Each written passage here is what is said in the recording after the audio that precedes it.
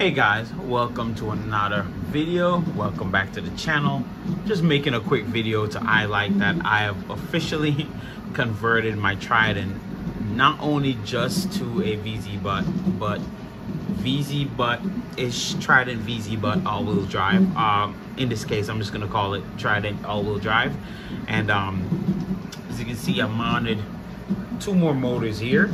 Um, I had a friend of mine, Squirrel Brain, flip the motor for me so that way it mounted up instead of down because due to the spacing here, there's no way to fit these tall motors here.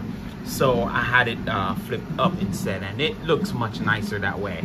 Um, I can honestly say I now can hit some um, some crazy accelerations um, that I couldn't have hit before with the with just the Stealthburner and the um, the Voron gantry, the Trident gantry. Um, but now I can hit some crazy accelerations, and I keep in mind I'm I'm still using that that heavy heavy MGN 12H, so it's still heavy, and I can lighten up that load with MGN 9 at some point. So at some point down the road, I will be lightening up that gantry. But for now, I didn't want to have to get rid of my MGN 12 right now.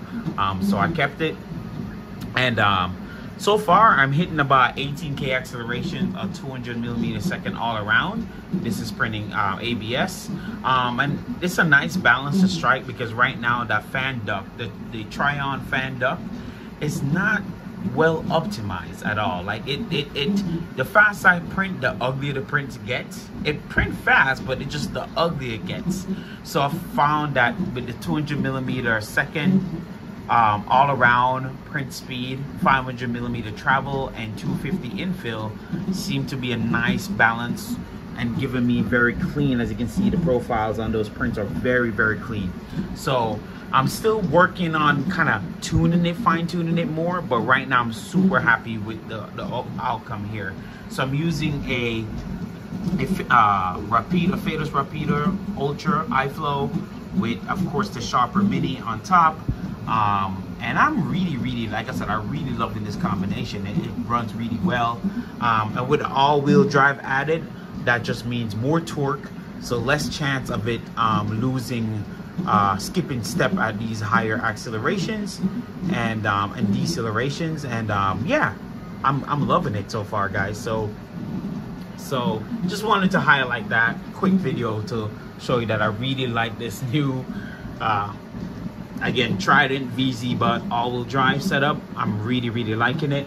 Now i won't be converting the rest of my machines to this. I just this is the only one that i really wanted to to try a different gantry on um i also if i wanted to go back and revert back to like a regular Voron gantry i can. It's pretty easy to do by just removing this and removing the removing the front portion of the um this front 2020 extrusion and the back one and just put back the ones that were the put back the back one that was there originally and, I, and I'm back to a uh, regular Trident. But in this case because I really love the quality and speed I'm already getting off of this machine I'm most likely gonna leave it. Like I said I'm probably gonna lighten the load um, on the X gantry by just doing MGN 12 MGN 9 I mean instead of 12 that should lighten the load quite a bit and um, net me some more speed out of it. But right now at 18K, um, at 200 millimeter a second, I can't even push it further. But like I said, the cooling is a problem.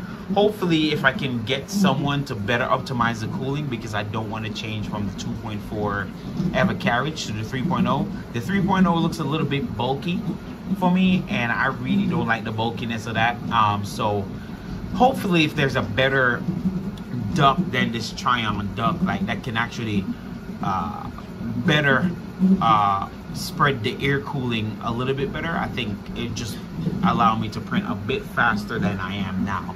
But like I said, this is still pretty quick. This is faster than what my um, what the Stealthburner was giving me with a CW2. So I'm pretty happy with that. So no complaints whatsoever. So like I said, quick video just to showcase that. Um, and again, stay tuned for my Thursday Thursday afternoon live stream of the K, the Annex K3. Um, so I didn't do it last Thursday because of Ian coming through in Florida, and I live in Florida, Tampa Bay area. So we didn't get hit as much as Fort Myers. Um, hopefully everyone recovers. Um, you know, praying for those who are or who passed away from the storm, and just hopefully, hopefully we can recover um, uh, any belongings or any other thing that may have transpired during the, the hurricane. So, so I'm praying for those that were in need for sure. But I'm lucky that it didn't come my way and destroyed anything. Um, so yeah, so due to the storm is why I canceled um, last Thursday live streaming. But this Thursday, we'll shuttle live streaming and pick up back from where we left off for the Annex K3. So yeah, so I just wanted to share this video, a quick video with you guys that, you know, it's no longer just a Trident, it's a Trident VZBot uh, eight, you know, all-wheel drive, and I'm really loving it. So yeah.